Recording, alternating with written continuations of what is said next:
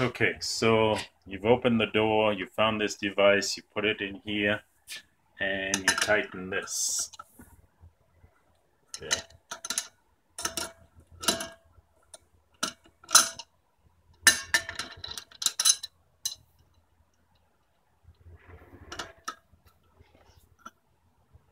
Okay.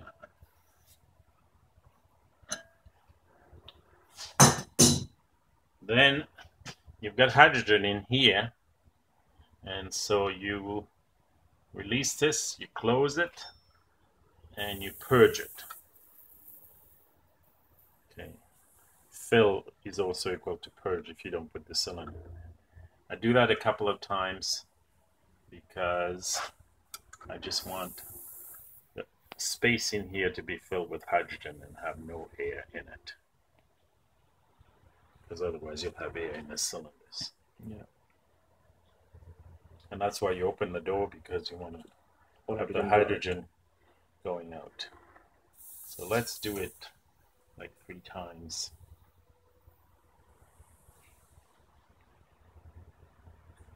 Okay. And This- once this you do that. Yeah. right, then remember this is uh, the right hand thread, so you have to make sure you turn it.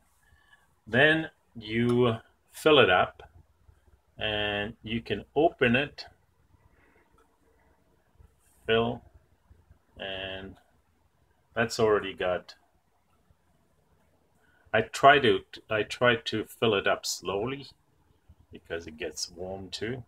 Mm. So I let it fill up. I close it, you know, so that it's it's not filling up totally. I mean, some people might just fill it up and make sure this is not hot. And you want to point the cylinder away from you, outside, and you have, uh, you know, the gauge, so that you can only fill it up to whatever the pressure of that cylinder is. Hmm. Okay. It's 1200.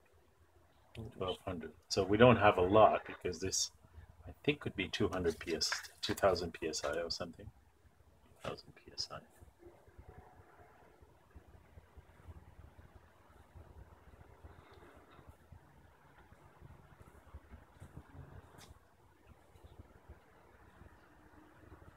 Okay.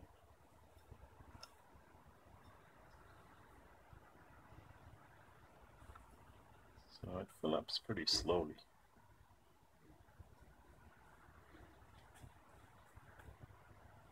Okay. So we can turn that to off.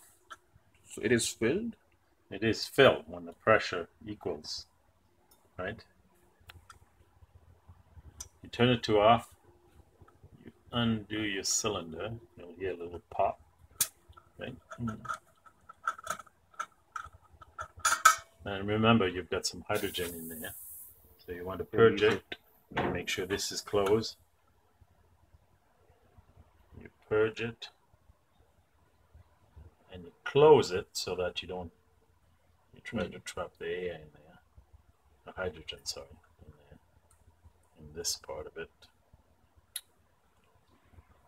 And then turn that to off.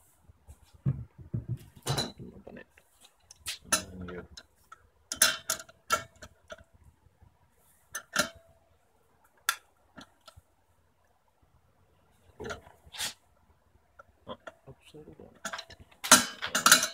That is tricky to find out. Okay? Yeah. So then you take that out. There's one of them that's always here. And when you're filling up cylinders, you normally fill all the cylinders so that you've got leave that in here. You put the cap on it, Oh, okay. back, And that's it. and that's it. Okay?